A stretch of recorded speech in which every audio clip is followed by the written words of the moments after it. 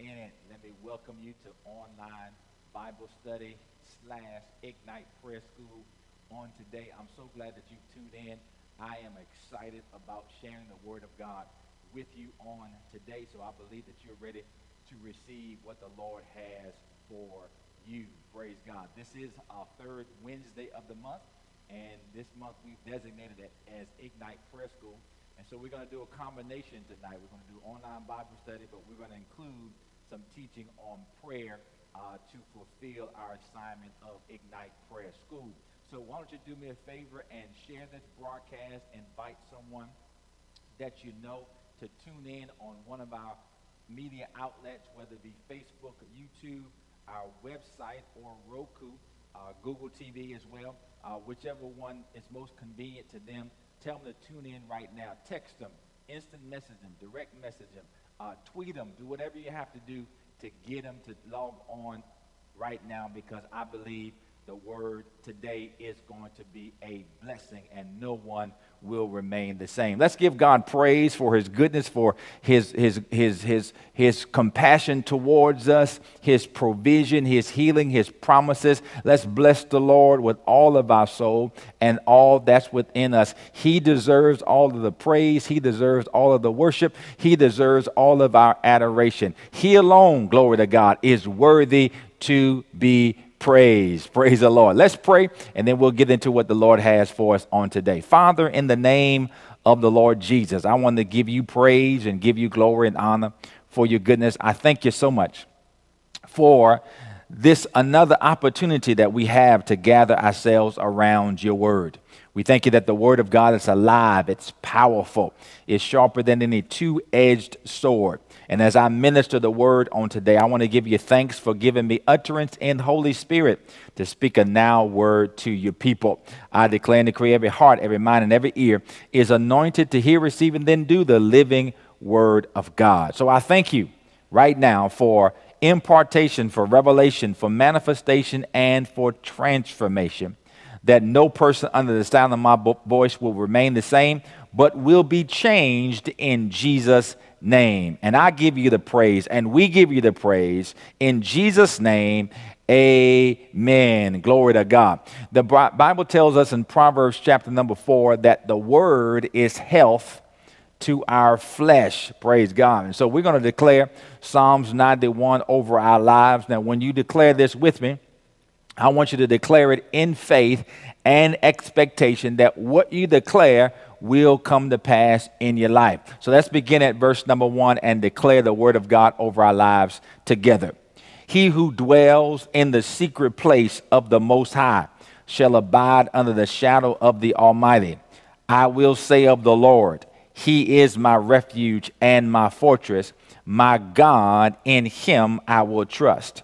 Surely He shall deliver me from the snare of the fowler and from the perilous pestilence. He shall cover me with his feathers, and under his wings I shall take refuge. His truth shall be my shield and buckler. I shall not be afraid of the terror by night, nor of the arrow that flies by day, nor of the pestilence that walks in darkness, nor of the destruction that lays waste at noonday. A thousand may fall at my side, and ten thousand at my right hand, but it shall not come near me. Only with my eyes shall I look and see the reward of the wicked. Because I have made the Lord, who is my refuge, even the Most High, my dwelling place. No evil shall befall me, nor shall any plague come near my dwelling.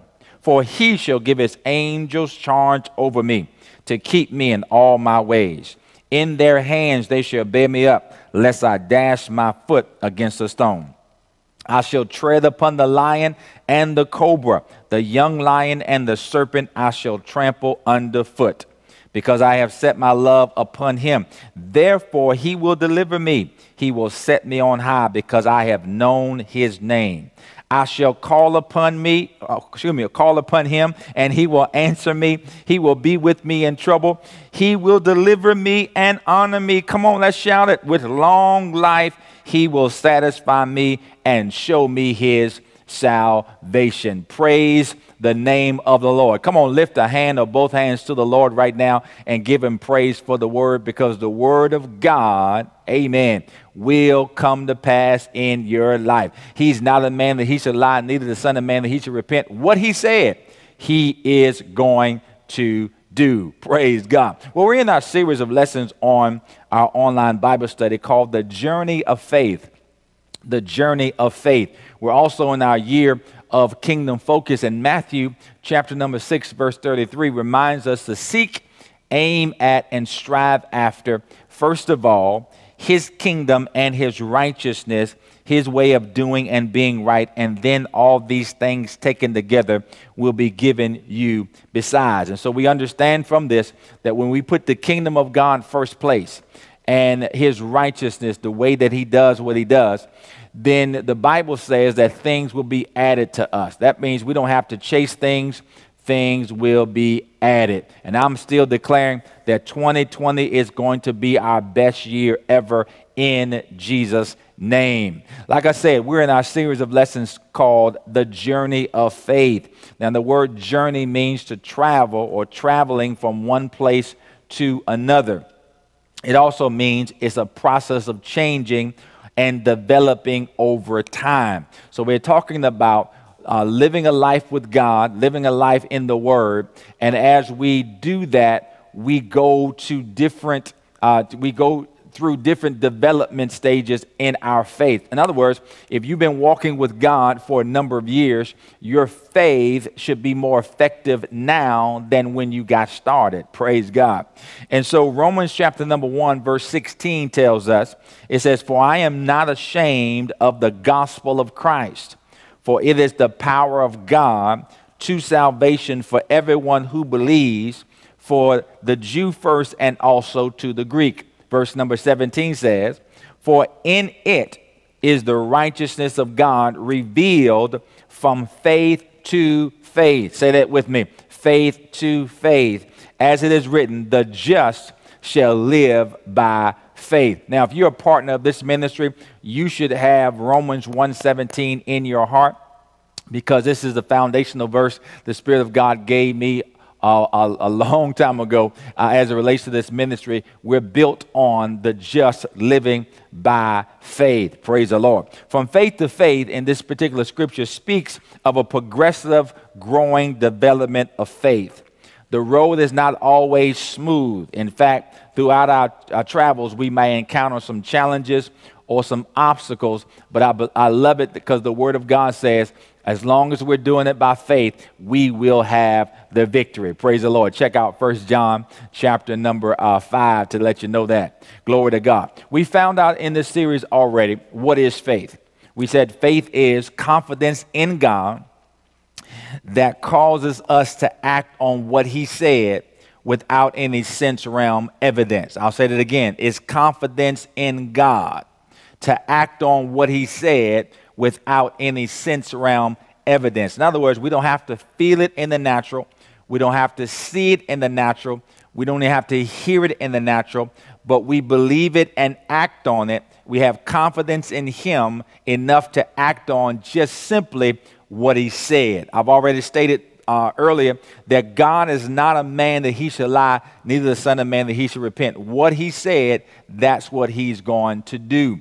God, the Word of God says God looks over or watches over his word to perform it. The book of Psalms says God is a covenant keeping God. He will not alter or change anything that comes from his lips. So if we can get if we can get and understand and believe the word of God, that is God's word. That's his covenant to us that he'll fulfill exactly what he said. So we ought to have confidence in God in, to the point where it causes us to act without any sense realm evidence. We also encourage you with this that you, as a born again believer, already have faith. You already have faith. Galatians chapter number 2 and verse number 20, the latter part of that verse in the tra- uh, Passion Translation says that Jesus pours his life into ours. So if he poured his life into ours, then the same faith that he had on the inside of him was poured into us. So not only do we have faith, we have God's faith. We have the same faith that Jesus had. Praise God. So if that's the case, we can believe God and we can expect to do the same things that Jesus did. If you watch, uh, if, if you're watching uh, on a platform that allows you to chat on today, put in the chat, say, I have faith. Just write that in there. I have faith. And then follow that up and say, I have the faith of God. I have the faith of God. Go ahead and put it in the chat right now and release it uh, uh in, expectation. Praise God. Then we had a discussion last week about Romans 1:17 because Romans 1:17 says, "So then faith cometh by hearing, and hearing by the word of God." Now, if you read that uh, that scripture and read it uh, the way it's written, it says, "Faith cometh," which denotes or uh, implies that faith is not already present.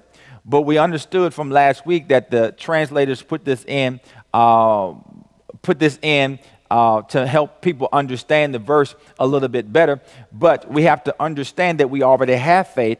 And when we hear the word of God, that word of God that we hear energizes the faith that we already have. It stirs it up, praise God. It causes us to rise up and live and walk by faith. When I was thinking about the lesson tonight on uh, in this particular point, uh, our oldest son, uh, Anthony, uh, is taking photography in school at this time.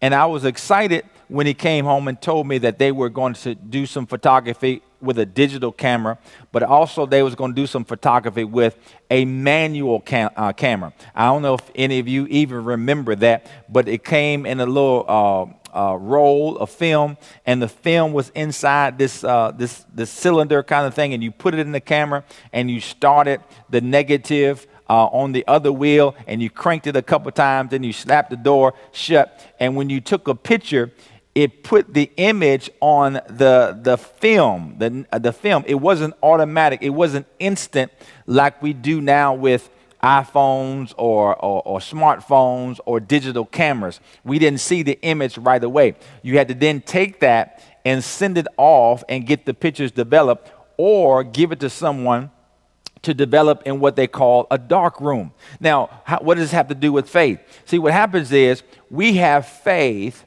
and that faith is being superimposed on our spirit man. Praise the Lord. And when the Word of God comes, the Word of God brings that faith that we have to light.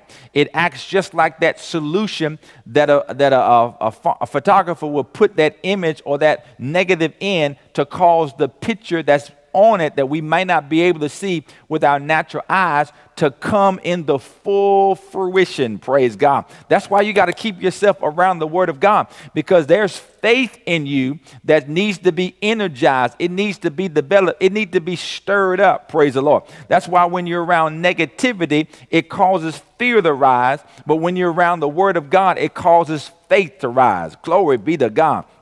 So, what I'm going to encourage you is to stay in the Word. Keep hearing the Word. When you read the Word, don't read it silently, read it out loud so you can hear yourself and energize that faith that you have on the inside. Is anybody with me on today in Jesus' name? I, I, I believe that you're seeing that. You have faith. Now it's up to us to get into the Word of God, stir that faith up, energize that faith, and then go and live by faith. Praise the Lord. Amen. So tonight, being Ignite Prayer School night uh, or day, we're going to talk about the prayer of faith. The prayer of faith. I told you we're going to do a combo uh, right now. We're going to do online Bible study and we're going to do Ignite Prayer School at the same time. And I tell you what, you are going to be blessed. Praise God. Let's go to John 19, uh, John 19 together. Let's go to John 19 because I want to uh, lay, uh, do some background before I get into the, the principles of the prayer of faith. Uh, I'm to make some statements, but I'm also going to look at some scriptures to help us bring, uh, help, uh, help bring some understanding to this prayer of faith. Now, remember this, don't ever forget this. Uh, faith makes prayer work prayer doesn't make faith work. Okay, let me say it again. Faith makes prayer work. Prayer doesn't make faith work. You got that? So, when we pray, we ought to pray in faith at all times. So, whether we're praying the prayer of intercession, whether we're praying the prayer of, uh, of worship, whether we're praying the prayer of commitment, whatever type of prayer uh, we're praying, the prayer of supplication, whatever type of prayer we're praying, we should be praying in faith.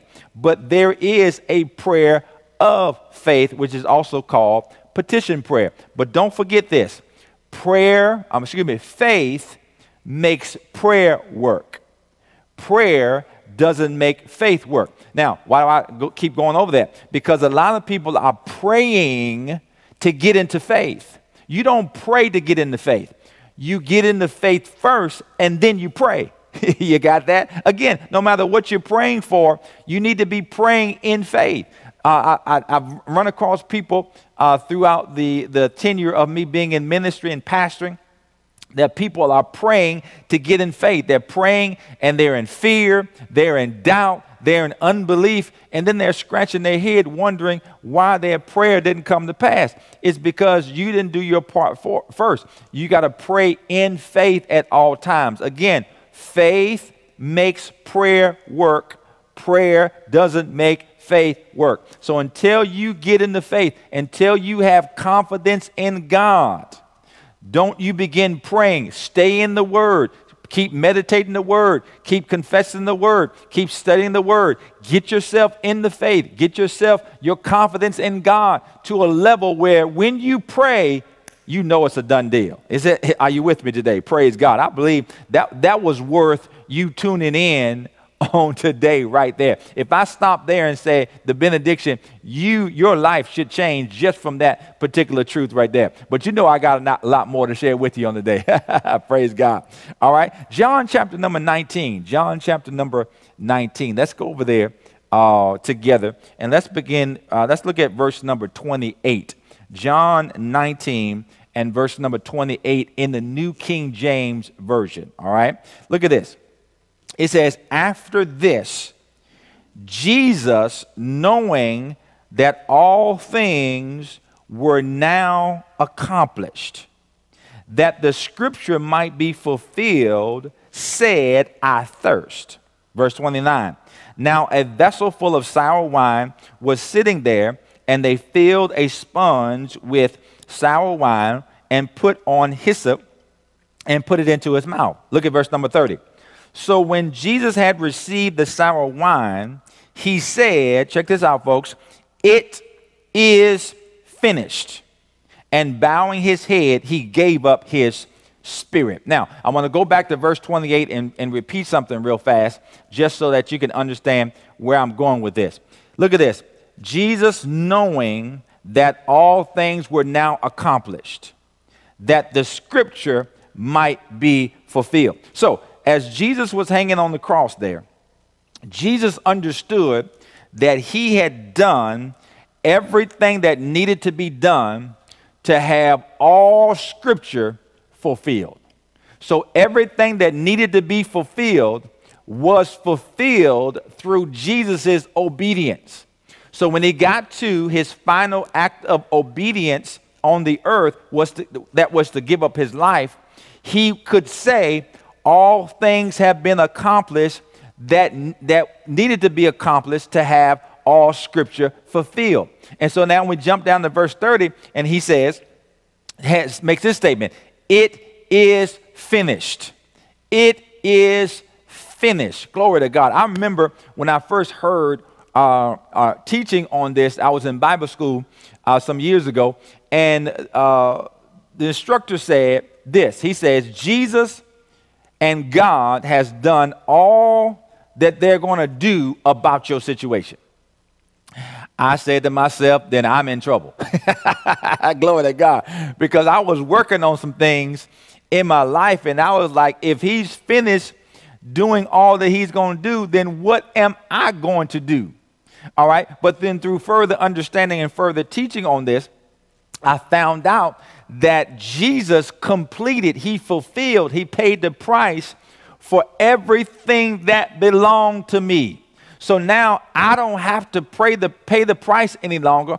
I don't have to, uh, I don't have to uh, accomplish anything in and of myself for what's already been ordained for, for me because he did it for me. So when he died and when he rose again, glory to God, he secured for me my healing. He secured for me my health. He secured for me my peace. He secured for me my joy. He secured for me my favor. He secured for me everything that I would need in life. He secured it through his obedience.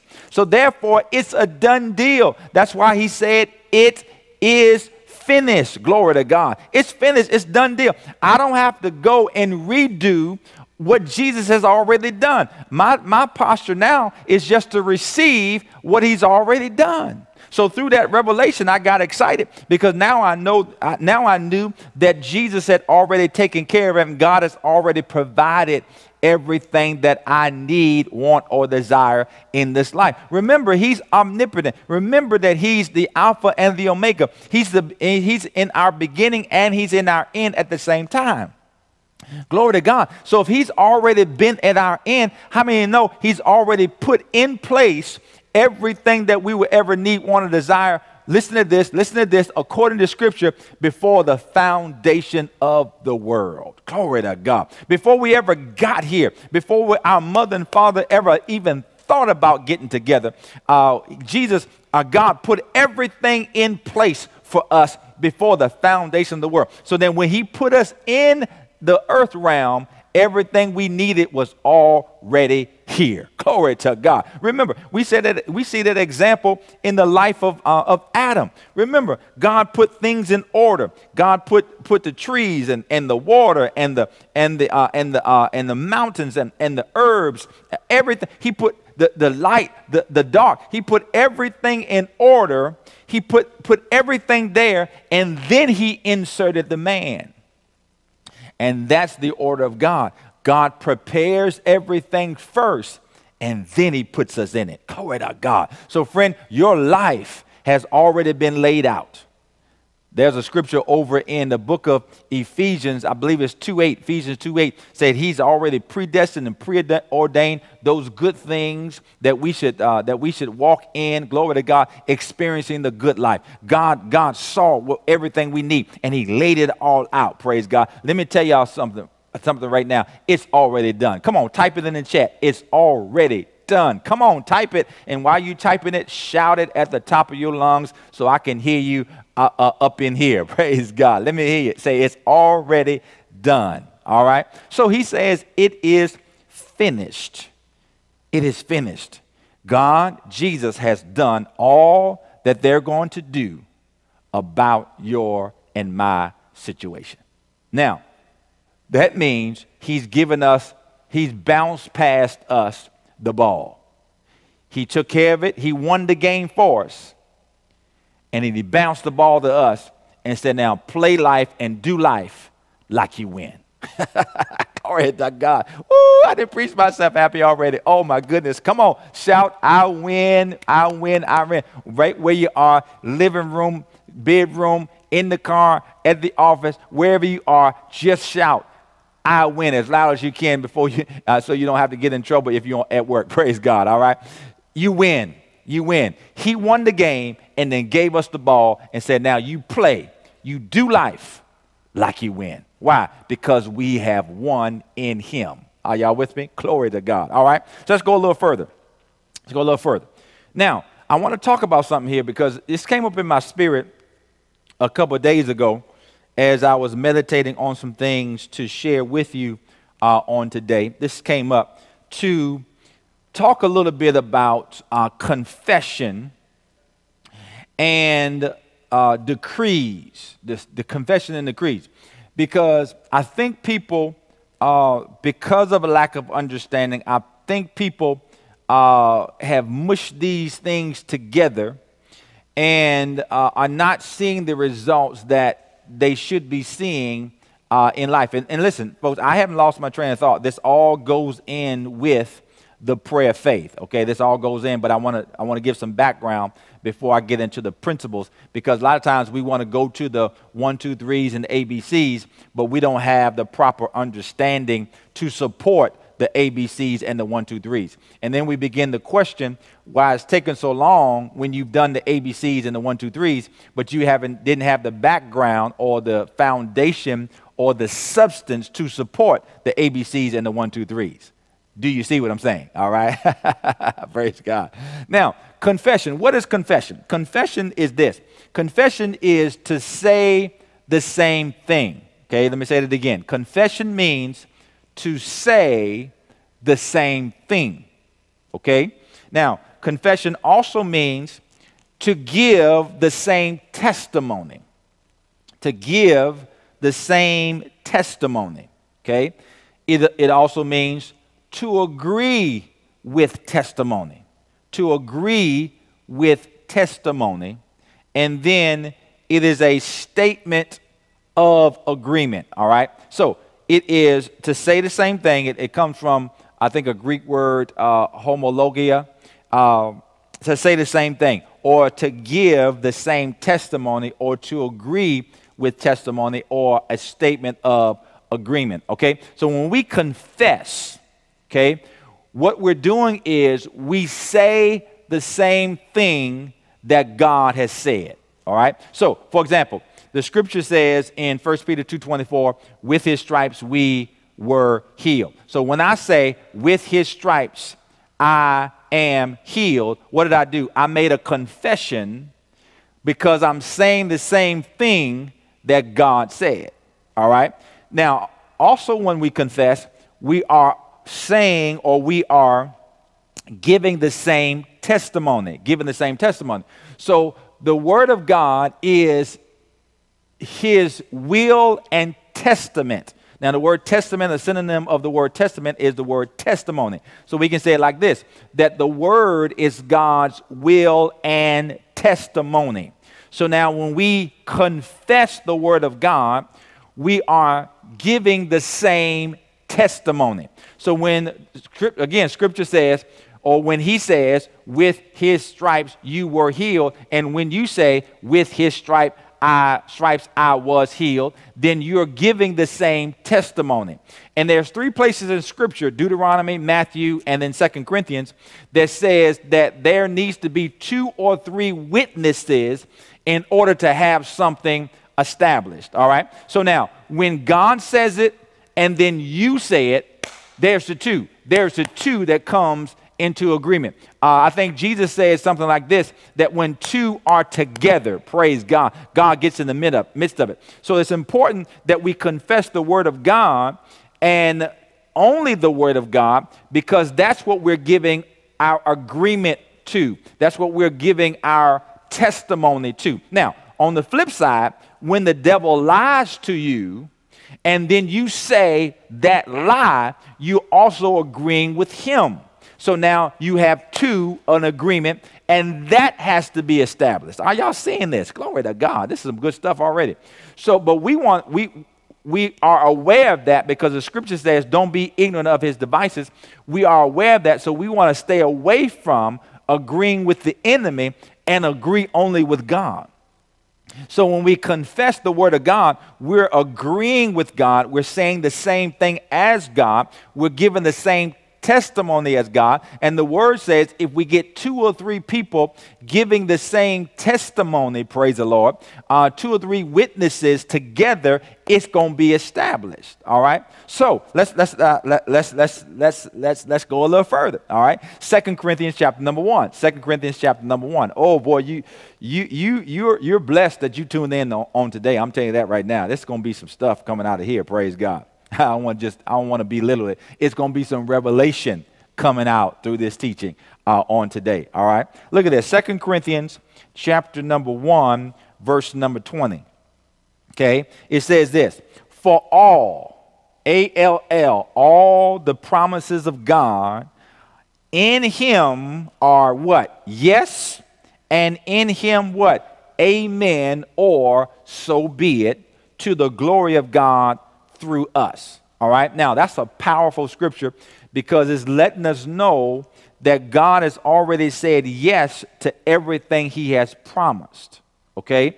That's why Jesus could say, It is finished, because through Jesus' obedience, he caused the promises of God to be fulfilled. Got it? So, all the promises of God are yes and amen. So, as it relates to promises, as it relates to promises, now, now, now, listen to me real carefully. As it relates to promises, we can simply just receive those, lay hold on those, grab and take those because they're already done. All right? So, in other words, you don't have to ask God to receive a promise that He's already said yes to. You can just receive it. You can confess the promise. Praise God. The promise is by his stripes we were healed. So I just confess. I don't have to ask God for healing. I can confess that I'm healed. Glory to God. And when I give that testimony and when I come in agreement with the word of God, then I get my two witnesses and it must be established. In other words, it must be fulfilled. It must come into manifestation. Are you with me? Are you with me? All right, come on. Uh, put in the chat. Say, I'm with you, Pastor. I'm with you. Glory to God. Now, let's go a little further. Ephesians chapter number one. Ephesians chapter number one. I promise you, I'm going to pull all this together uh, on today. All right? Ephesians chapter number one. Ephesians chapter number one. Okay? Because it's important to understand when we get down to the principles of the prayer of faith. All right? Principles of the prayer of faith. Uh, Ephesians chapter number one and verse number three. It says this Blessed be the God and Father of our Lord Jesus Christ. Look at this, folks. Who has, past tense, blessed us with every, every what? Spiritual blessing in heavenly places in Christ Jesus. What is Scripture telling us?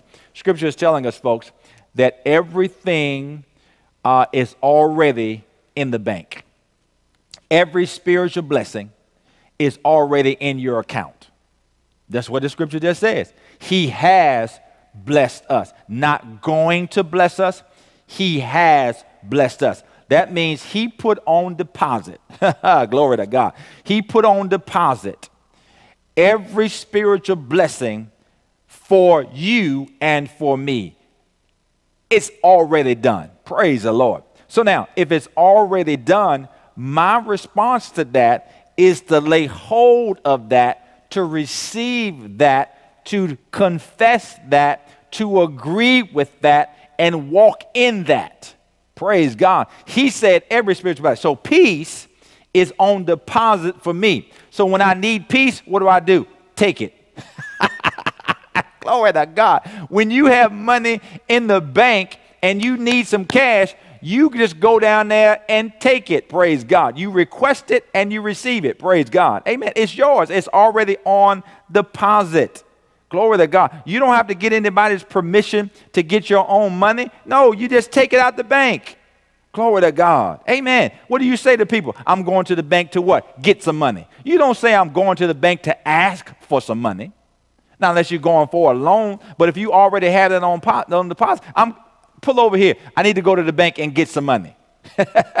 Glory to God. So because peace is already on deposit for you, just go ahead and get you some peace.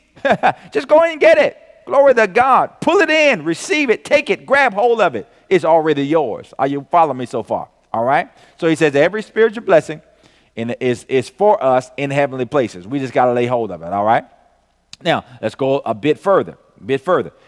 Second Peter chapter number one, Second Peter chapter number one. I'm, I'm just giving some background so when I go to the principles of the prayer of faith, you have the understanding that you need. All right? Okay. For Second Peter chapter number one, verse number one says this Simon Peter, a bond servant and apostle of Jesus Christ, to those who have obtained like precious faith with us by the righteousness of God and our Savior Jesus Christ. Verse number two Grace and peace be multiplied to you in the knowledge of God and of Jesus our Lord. Let's pause there for about 30 seconds. He says, Grace and peace be multiplied to you. Look at this. Through or by the knowledge of Him. So the more you know about God, the more you know about Jesus, the more peace and more grace, favor can be multiplied to you. What is he really saying? The more I know about God, uh, the greater confidence I have in Him because my peace, I have greater peace. I have greater grace. And that comes through the knowledge of Him. So now, the less I know, the less multiplication of peace and grace that I have. But the more I know of Him, the more come, the more I can walk in this multiplied grace and peace. Are y'all, y'all, y'all seeing that? Okay, let's go a little further. Verse number three. It says, as his divine power has given to us all things that pertain to life and godliness, through the knowledge of him who called us by glory and virtue. Verse number four. By which have been given to us exceeding great and precious promises, that through these you might be partakers of the divine nature, having escaped the corruption that is in the world through lust. Look at that, folks. Look at that. He says that He's already given us, already, past tense, already given us all things that pertain to life and godliness. Everything you need to, to live and everything you need to be godly has already been given to you. It's on deposit. Take it. Lay hold of it right now in Jesus' name. Shout, it's mine. It's mine, and I take it in Jesus' name. Amen. So now, when it comes to confession, we just can confess or say the same thing as God has already said. So we just read this scripture in 2 Peter chapter 1. I can now confess that he's given me all things that pertain to life and godliness. I can make it personal. I have all things that pertain to life and godliness. When do I have it? Now. So if I have it now, I don't have to look forward to getting it because I already have it when? Now, because he's already blessed me with it before, before now. So because he gave it to me before now, I have it now, so therefore I don't have to look to get it. Are you hearing what I'm saying? So because I don't have to look to get it, I don't have to ask for it, nor do I, do I have to pray for it. I just take it because it's already, already mine when? Now. It's already yours when? Now. Glory to God. So you just confess it agree with what God has already said, have confidence in that, and walk it out and let it manifest in your life. Take it, grab hold of it, and receive it in Jesus' name. Amen. Glory to God. Y'all with me? Y'all catch that? All right. So now, let's go to a decree. Let's go to a decree. Now, decrees are different than confessions, okay? Because a confession is saying the same thing as, listen to this, folks. This, this is going this is going to make some of y'all shout. A decree establishes something that you'll walk in in your future. Oh, glory to God. A decree establishes something that you'll walk in in your future. Praise God. Amen. So a decree then is creative. Oh, that's what that's what the Spirit of God told me earlier today. That a decree is created, creative. You release something out of your mouth based on the word and adding your faith to it, you re- release something uh, and it be- that word that you release creates something. See, a confession doesn't create anything, it just agrees with something because what you confess has already been established. You got it? But a decree, praise God, is it, it, it, it creates it as you as you decree it. Let's go to Job chapter number 22 and 28. Job 22 and 28. If you're getting anything out of this teaching, put some, give me some praise hands or some fist pounds or something in the chat. Fill that thing up. Give me some heart emojis or something. Just fill that thing out. Just run it all the way across your screen if you're getting anything uh, on today from this teaching. Glory to God. Now, Job 22 and 28. Um, it's, going, it's, it's right here, plain and in black and white, what I'm, what I'm saying to you. Look at this here. A decree uh, establishes something, it's creative. Look at this Job 22 28, Amplified Translation. It says this You shall also decide and decree a thing. Let me stop there for a moment. Glory to God. What do you want in life? What do you want? Not what somebody says you should have, or not what you, not what you, uh, uh, uh, uh, uh yeah, not what somebody's, or not what somebody's trying to put. What do you want in life? You got to decide, make that decision. Glory to God. What do you want in life? He says, You shall decide and decree a thing. Come on, let's go back to Job 22 28. You shall also decide and decree a thing, and it shall be, it shall be, it shall be what? Established. Okay, if it was already established, it wouldn't it, there will be no shall be established, all right? Shall be established for you, and the light, God's favor, shall shine on your words, on, on your ways. Apologize. Look at that. When I decree something, I release it in the atmosphere, and what I decree goes to work on my behalf to create what I decreed, and then I walk in it in, in, uh, in my future. You see that? My decree goes out before me. My decree goes out before me. It, it brings to pass what I decree, glory to God, and then I walk in, I walk right into it in my future. My decree sets up an appointment for me. Glory to God. Are you hear what I'm saying? That's why I say sometimes don't sit back and wait for something to happen. Glory to God. Amen. Make something happen. Praise the Lord. Make something happen. Glory to God. Y'all seeing what I'm saying? For example, you can decree, I'm going to buy me a house. That's a decree. I'm going to buy a house. A decree. That word goes forth. Come on. It's in line with the word of God because he said he gives you the desires of your heart. You add your faith to it, and that word goes out, praise God, and begins to create the opportunities you need the, the, uh, the people you need to meet, uh, that word begins, that decree begins to bring all that stuff together. Because remember, it's, it's working with God's favor intact. It's bringing all those things together, and then you walk into it, and you end up talking to the right builder, the right real estate agent, the right finan- financing company if you need that, or you get opportunities on your job to get increase. All these things working together. Where did it come from? It came from a decree. Praise God. Because you decreed it, that which you decree begin to create that which you decree, and then you walk into it. Are y'all with me today? Praise God. Some of y'all sitting back waiting for stuff just to show up on the front porch. It's not going to show up. Call it in, praise God. Amen. Glory to God. Woo, praise God. Wayne, hold your mule. Praise, praise the Lord. All right. Got a lot more to go. A lot more to go. Okay. I think we can do this. think we can go. We, we'll go over a little, little bit over an hour uh, today, but I think it'll be worth your while. Okay. So listen to this. Listen to this. Very important. We confess promises, or we confess the word of God. We confess promises we decree our future.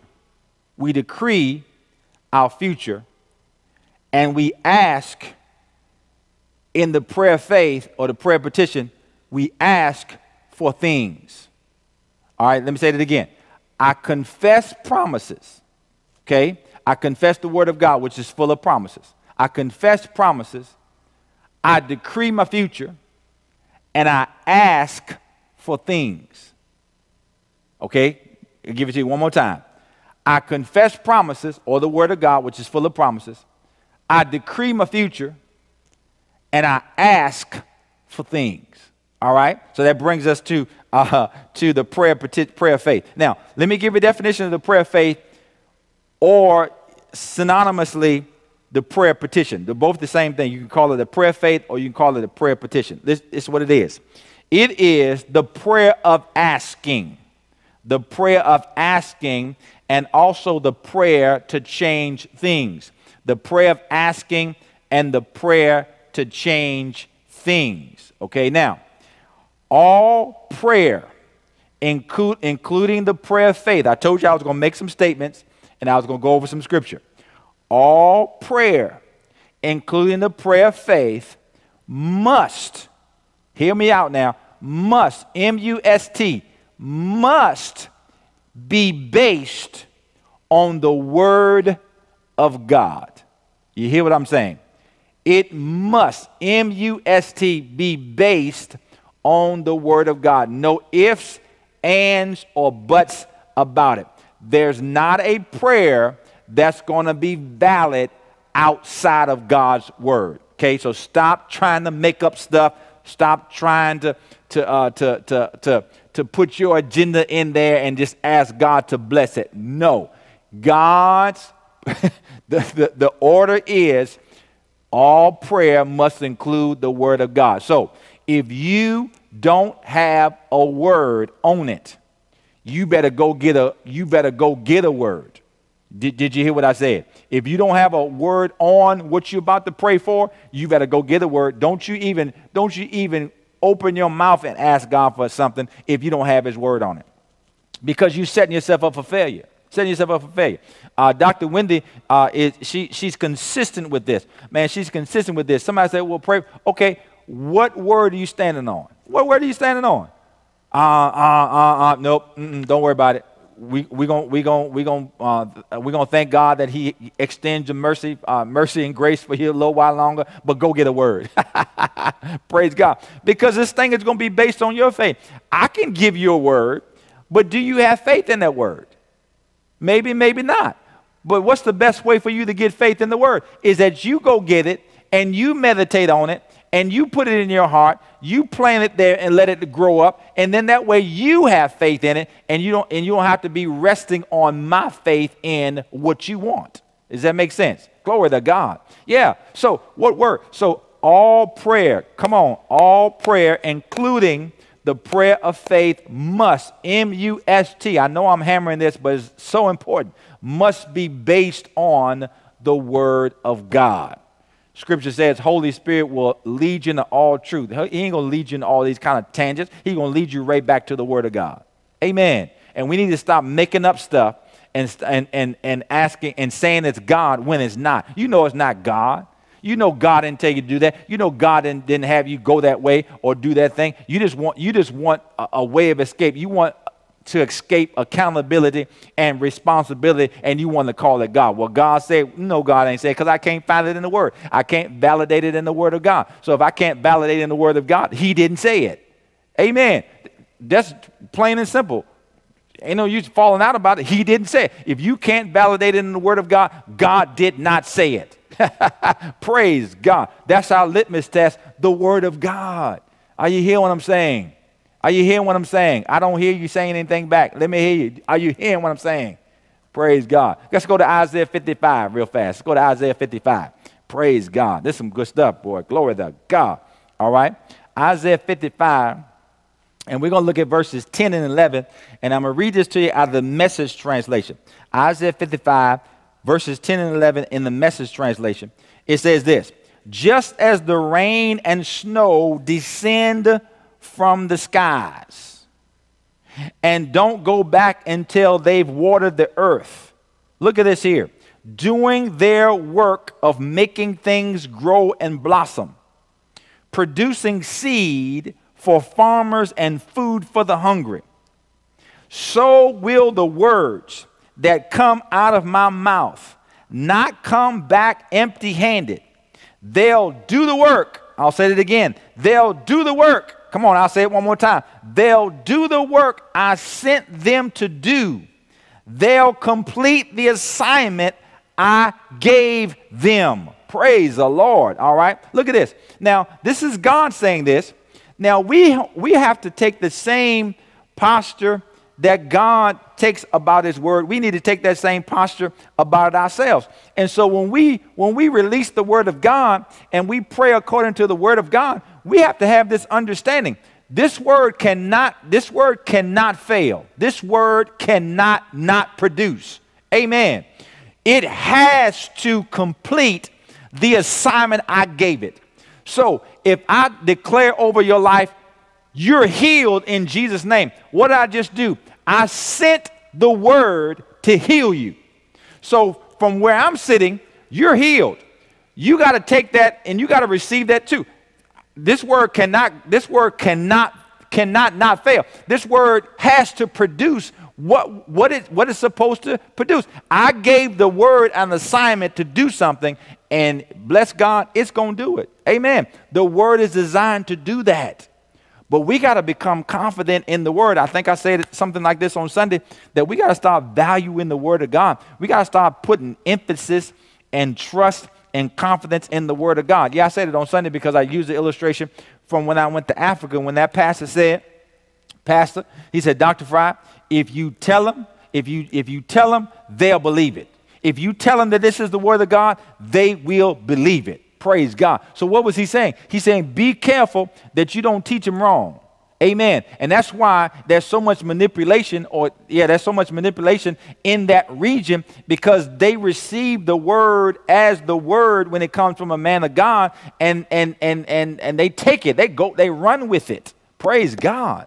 We need to get to the same place that when the word of God is, is, is spoken, I take that and run with it. Praise God. Amen. Amen. Got it? So the word will accomplish. It cannot, it cannot fail.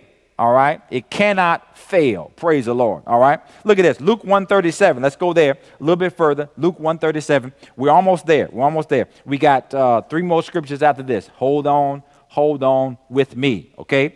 Uh, Luke 137. Luke 137. Look at this. In the Amplified translation, it says, For with God, for with God, nothing is ever impossible. For with God, nothing is ever impossible, and no word. Come on, if you got a paper Bible, you need to underline this. If you got an electronic device, you need to highlight that. No word from God shall be without power or impossible of fulfillment. Check that out. Jesus said, No word can, uh, no word uh, from God shall be without power. So if you have His word, you have His power. If you have God's word, you have His power. And nothing can withstand the power of God. Everything buckles underneath the power of God. Amen.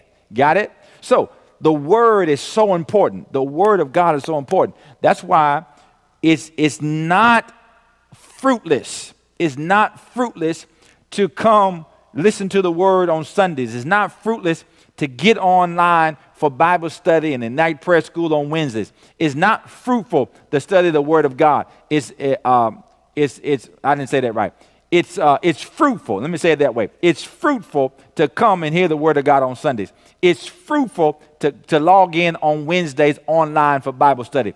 It's fruitful to study the Word of God. It's fruitful to meditate the Word of God. Amen. Because when you get that Word, you have His power. Praise God. Because every word from God contains power. And I love what the last part says. It says, it's, imp- it's not impossible, uh, it's without uh, power or impossible of fulfillment. In other words, there's possibilities in the word. Amen. It's possibilities in the word. Y'all with me? All right. Now let's go. Let's go get some uh, some principles here. Uh, yeah. Okay. We good. We good. We good. About ten more minutes, I think. About ten more minutes. Praise God. Y'all with me? Y'all with me? Uh, if, if you if you can go a little further, uh, put in the chat. Uh, uh, go ahead, Pastor. Go ahead. Just let me know that you're with me. Praise the Lord. Mark 11, 24. Mark 11, 24.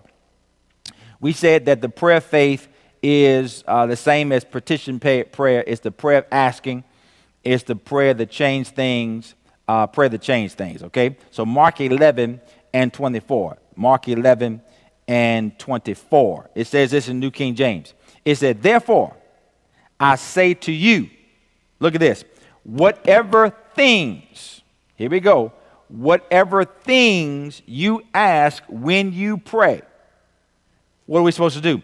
Believe that you receive them and you will have them. What's the thems? The things that you believe that you received when you prayed. Okay? The them is not just things. The them is the things that you believe that you received when you prayed. You, you catch that? So if you don't believe that you received when you prayed, then you won't have the things. I hope you're catching this. Glory to God. All right? Because the Bible says that when I pray and ask God for things, I have to believe that I receive those things as the moment I asked Him for it. Not when it shows up, not when I feel like I've received them. I have to believe that I received it the moment I asked for it. Not a second longer, uh, but at the same time. I'm asking, I'm believing that I'm receiving at the same time. In my ask, I'm believing that I receive. Then the Bible says, I will have them. What am I going to have? The things that I believe that I received when I asked them for it. You catch that? All right? So that's the prayer of faith. The prayer of faith is having enough confidence in God and what He said to ask God for something. Ask God for something and believe that you received that thing when you asked Him. Got it? So now, if I believe that I received the thing when I ask God for the thing, I don't have to ask for the thing again. don't ask me to say that again. All right, rewind the re, rewind the uh, rewind the replay and catch that. Okay, yeah. So that's the prayer of faith. The prayer of faith is I'm so confident in God that based upon what He said to me in His Word, and I have His Word on it, praise God, that when I ask Him for something, I believe that I receive it. Amen. And the Bible says, I will have it. So I take possession of it when I ask, but then I expect it to show up in my future. Could be five minutes later, could be 30 minutes later, could be an hour later, could be a week later, it could be a month later. I'm not going any further than that because we, we, we, I'm done with these uh, six months, nine months, one year, six years, 20 years kind of believing stuff. No, uh uh-uh, uh, no, uh uh-uh, uh, no. You get in this word and get more confidence. So when you release your faith for it, it comes to pass in a much sooner. I got I see too many suddenlies, I see too many immediatelys. You shouldn't be believing God for no 25 years for something. Praise God. Amen. If that's the case, you, you need to check yourself. Praise God. It doesn't take God 25 years to get you anything. Glory to God. He, he brought down the walls of Jericho in one day. Yeah, they walked around six days on the seventh day, but it only took God one day to bring it down. Praise God. It took them six days to get themselves to where they can believe God for, and but He brought it down in one day.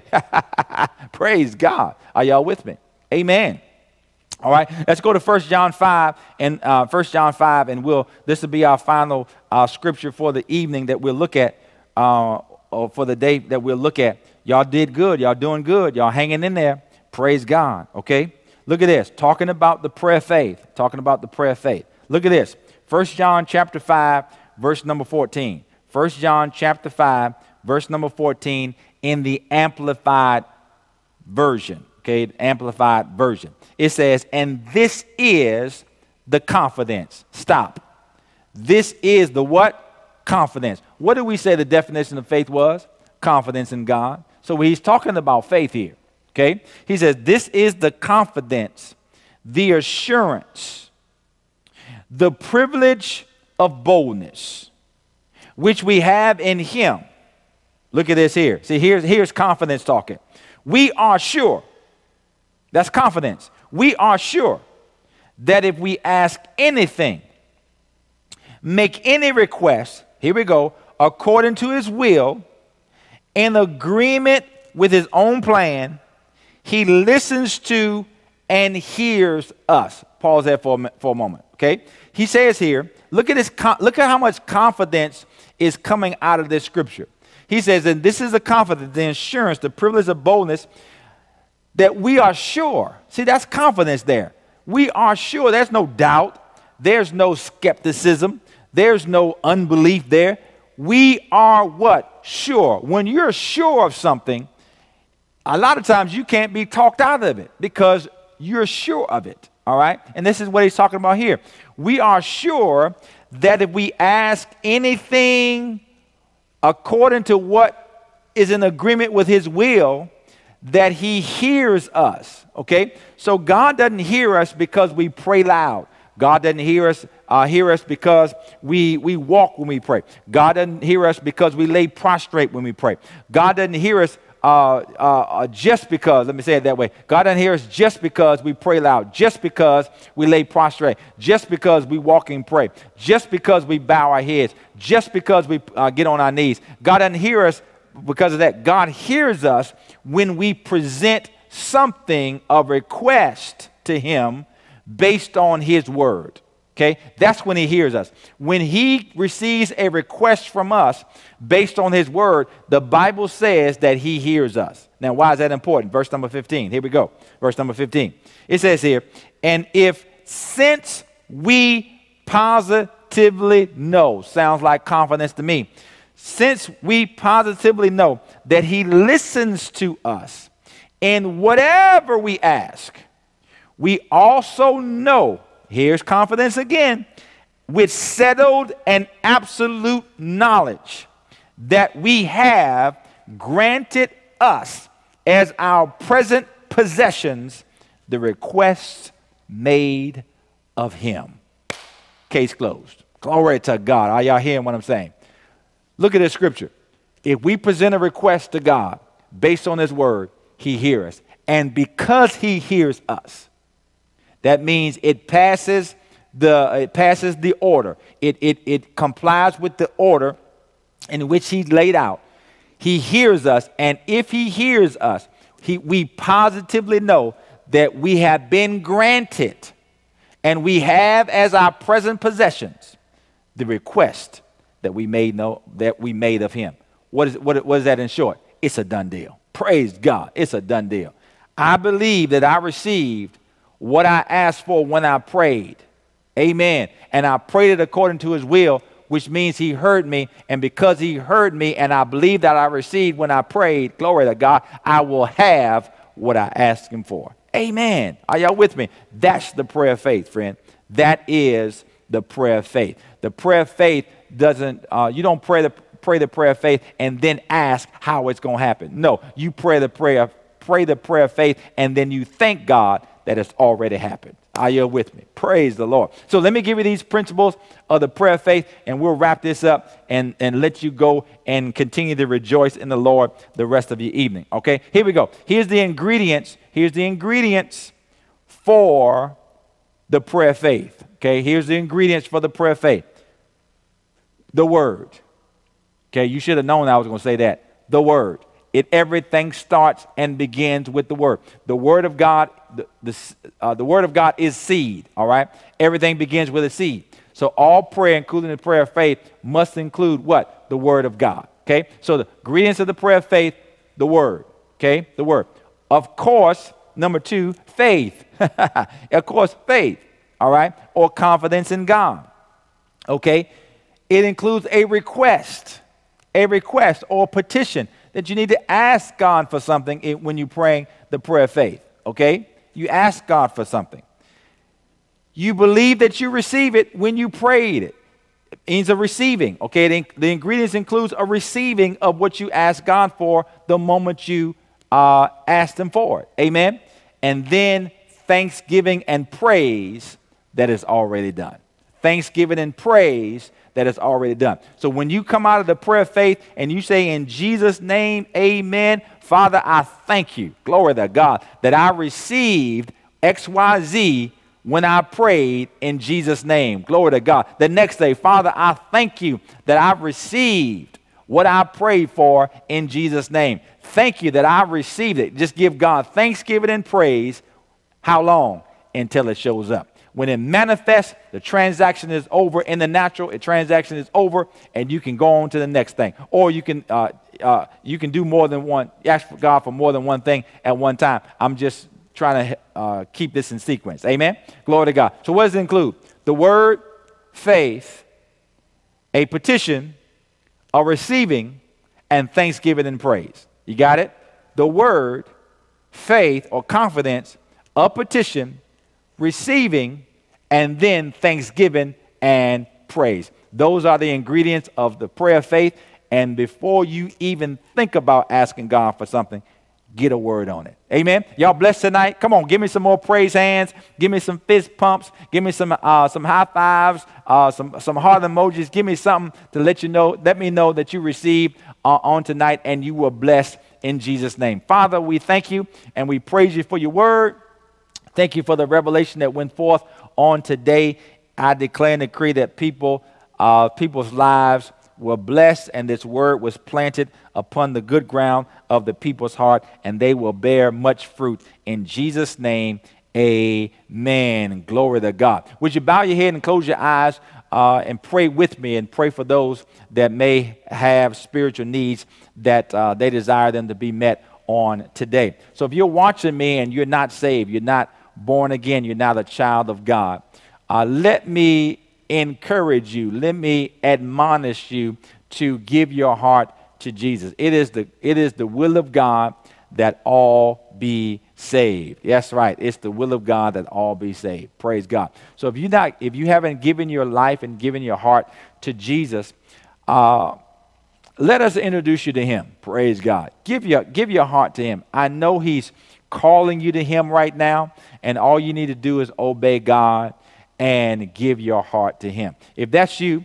why don't you use the information on your screen? Text us prayer, P R A Y E R, to 434 830 0083.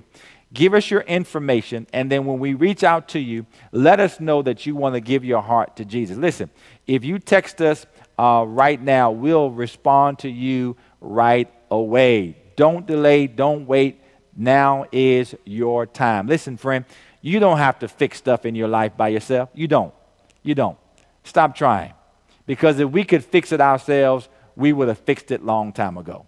See, that's why Jesus came and was our uh, was uh, stood in the gap for us, uh, was our substitute. Praise God, was our example, and gave His life for us because He knew He knew we couldn't get it done by ourselves. So God sent the Savior, and Jesus came uh, to to give his life for you and I. Jesus paid the price, friend. Jesus took our sin on the cross, took it to, hell, conquered it in hell, and rose again in victory. And you can walk in that same victory yourself by receiving the finished work of Jesus. The Bible says very plainly, Romans 10, verse number 9, if you confess with your mouth the Lord Jesus and believe in your heart that God raised Jesus from the dead, you will be saved. I believe I'm talking to somebody right now that wants to give your heart to Jesus. So uh, let's not even wait for you to have to text us and we call you back. Why don't you pray this prayer after me right now? Father, in Jesus' name. Come on, say, say it with me. Father, in Jesus' name, I thank you for sending Jesus to die for me. Your word says that if I confess the Lord Jesus, and I believe in my heart that you raised Jesus from the dead, I would be saved. So, Father, I now confess Jesus as Lord, and I believe that you raised them from the dead on my behalf. Thank you, Father, for saving me. In Jesus' name, amen. Praise God. God bless you, friend. Welcome to the body of Christ. If you prayed that prayer, reach out to us and give us your information. I, I, I, believe with all my heart somebody that's watching me right now prayed that prayer. You need to let us know. Why? Because we want to rejoice with you. All the angels in heaven are rejoicing right now, but we want to rejoice right alongside you as well. In addition, we want to get some information to you free of charge to help you uh, help your walk with the Lord get started off on the right foot. Again, friend, God bless you and welcome to the body of Christ. Amen. Maybe you're watching me this uh, today and um, you did give your heart to Jesus at some point in your life, but for whatever reason, you've fallen out of fellowship. You're, you're not living like you're supposed to live. Uh, and you want to rededicate your life to the Lord on today. If that's the case, use the information on your screen give us your information when we reach out to you. Let us know that you want to rededicate or recommit your life to the Lord, and we will pray with you. Also, if you want to connect with our ministry, become a partner or member of Faith Christian Center International, just simply obey God. If God is speaking to your heart right now to connect with us, no matter where you are across this globe, if God is, is speaking to your heart to connect with this ministry, use the information at the bottom of your screen to let us know. Uh, let us give us your information, and we'll reach out to you and welcome you as a partner of this ministry. Praise God. Amen. Now, before we let you go, I want to give you an opportunity to give and sow into the kingdom uh, of God. The Bible says that when we give, it shall be given back to us in a good measure, pressed down, shaken together, and running over. So you should see some information at the bottom of your screen right now that list out different ways that you can give. You can mail us in the check, you can uh, use our website, or you can use our mobile application by texting FCCINTL to 77977. You'll get a prompt uh, to use the, the account that you've already set up, or you can uh, establish a new account and give right there using your mobile device. Whichever way you decide to give, we're most grateful and we thank God for that. So we're going to uh, leave that information up on your screen just for another moment or so, and then we're going to pray over our giving at the closing uh, prayer on today. Praise God. Amen. So, as you're preparing your giving, let me share some announcements with you. I just want to remind uh, everyone to uh, be prepared, make your plan to vote on November the 3rd. I want your voice to be heard on November the 3rd. Praise God. If you're living in Virginia, you can vote early until the end of the month, I believe, the end of October. Uh, so you can do that as well. But before you vote, dive into those platforms, pull up those uh, party platforms. It tells you all you need to know about what those parties endeavor to do if they are in office. Also, to remind everybody that Sunday, this coming Sunday, is Communion Sunday. Communion Sunday. And if you're watching us uh, online, you can participate as well. So get you some crackers or some juice. And when we're receiving communion here in person, you can follow along with us and join us right, right where you're watching us from. Praise the Lord. And then again, a reminder that at the end of the month, October the 31st, we're having the Children's Harvest Festival here at FCCI at 11 a.m. We're asking for volunteers as well as candy donations. Candy donations. May, please make it uh, make sure that it's peanut free so that we don't have any challenges with allergies. But asking that you bring that and drop that off here uh, on campus so we can have plenty of candy to bless those children in attendance with. Praise the Lord. All right. So I'm going to get ready to pray for you uh, and close out, and I'm going to pray over your giving, uh, and then we'll let you go. Let's pray. Father, in the name of the Lord Jesus, I want to thank you and praise you, first of all, for this opportunity that we have to give, and thank you for providing us resources to give unto the kingdom of God. As we tithe, thank you that the windows of heaven are open and you point us out favor, wisdom, anointing, and doors of opportunity that we don't have room enough to receive. And as we sow seed, that you're causing that seed to go grow and bring us back more in Jesus' name. We declare every need is met and all debts are canceled in Jesus' name. Now, as we go our separate ways, we do thank you for our covenant of protection. You keeping us safe from all harm. Thank you for those angels round about us, lest we dash our foot against a stone. Uh, we decree our lives are better because we live by faith in Jesus' name.